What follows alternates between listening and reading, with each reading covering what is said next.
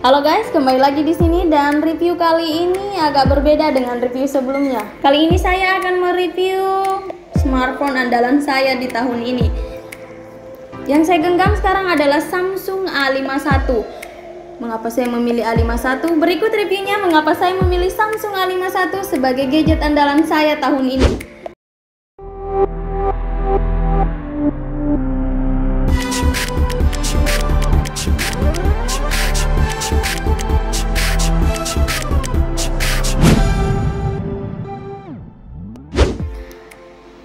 Pertama baru-baru ini Samsung merilis dua HP Samsung di versi A yaitu Samsung A71 dan Samsung A51.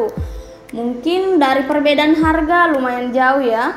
Oke, mengapa saya memilih Samsung A51? Pertimbangannya Oke, sebelum kita lanjut untuk membahas pertimbangan apa yang membuat saya memilih Samsung A51, jangan lupa subscribe dan aktifkan tanda lonceng biar kami makin semangat bikin video ini. Oke guys, sekarang kita bahas dulu mengapa saya memilih Samsung A51 itu pasti yang pertama itu saya menilai dulu dari harganya ya. Samsung A51 dirilis dengan harga 4.399.000. Itu harga resmi Samsung ya. Tapi saya mendapatkan Samsung A51 kali ini di harga 4.029 ribuan lah ya, nggak sampai 41. Oke, untuk link saya beli di mananya nanti kita bahas itu di video berikutnya ya.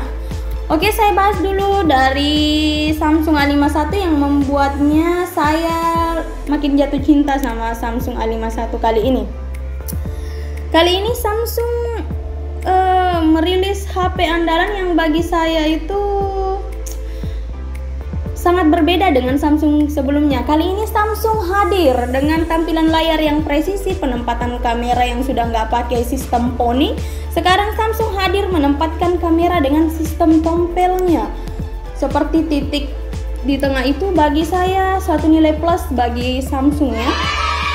Kemudian dari segi body, Samsung jauh lebih tipis dari Samsung yang biasanya yang berkapasitas baterai 4000 mAh. Kemudian bukan cuma itu, Samsung hadir menampilkan gaya baru di bagian kamera. Samsung menempatkan 4 titik kamera dengan berbentuk L. Itu bagi saya luar biasa sekali dibanding dengan penampilan Samsung yang sebelumnya.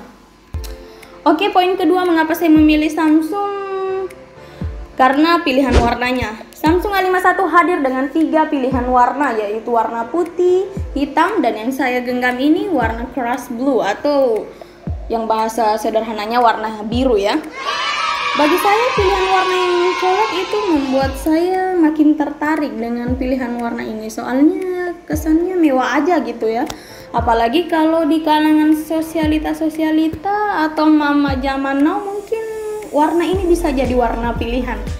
Kemudian yang ketiga, kapasitas baterai dan penyimpanan yang menurut saya sudah luar biasa banget. Samsung A51 hadir dengan kapasitas baterai 4000 mAh yang kalau cuma buat sosialita sosial media sejenisnya WhatsApp, Instagram, Facebook, hmm, saya start di jam 7 pagi, kembali lagi di jam 7 malam itu masih di angka 44%. Wow, cuma berkurang 56% seharian saya standby.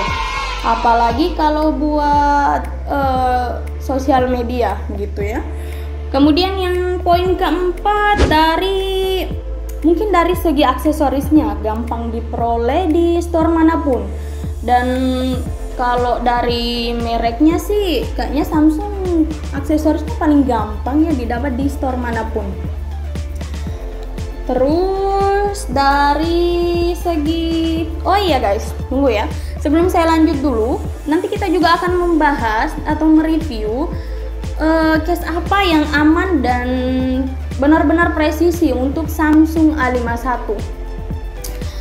Uh, jadi tadi sudah di poin keempat yang dan yang terakhir itu sih mungkin kembali lagi ke pilihan Anda semua ya. Kalau misalnya kalian butuhnya gaming ya beli HP yang memang kapasitasnya buat gaming. Kalau saya beli HP ya kapasitasnya buat sosial media. Karena e, kembali lagi ke diri masing-masing ya guys kalau kalian butuhnya buat gaming ya beli HP yang memang kapasitasnya buat gaming. Kalau buat sosial media ya nggak apa-apa lah. Kalian ngelirik Samsung A51 ya bisa dibilang sudah hampir nyaris sempurna bagi saya. Dan kalau menurut saya sih Samsung A51 sudah wow banget speknya sejauh ini ya. Saya sudah pakai semingguan lebih nggak ada kendala sama sekali sejauh ini Oke guys, tapi ini kembali lagi ke pilihan kalian masing-masing. Pilihlah HP yang sesuai kebutuhan dan memang yang buat kalian nyaman ya.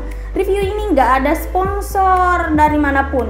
Ini murni cuman saya nge-review langsung bagaimana rasanya pakai Samsung A51 kalau cuma buat sosial media.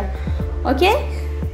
Uh, kayaknya gitu aja ya guys. Nanti kita taruh linknya di bawah kalau untuk mengenai saya beli di mana dan oh ya satu lagi mengenai harga di 4 juta 29 ribu pasti kalian nanya-nanya itu resmi gak sih?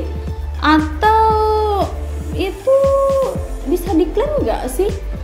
Ya menurut dari penjelasan tempat saya beli di blibli.com katanya bisa sih ya di bisa diklaim di seluruh Samsung Indonesia. Apa benar nggak ya? Oke untuk kebenarannya nanti kita bakal nge-review langsung. Apa benar? Di harga 4 juta 29 ribu kita bisa ngeklaim di seluruh Samsung Indonesia. Soalnya sih sejauh ini meyakinkan ya penjelasannya. Jangan lupa subscribe dan aktifkan tanda lonceng sebagai dukungan kalian untuk video-video kami. Oke, okay? thank you for watching.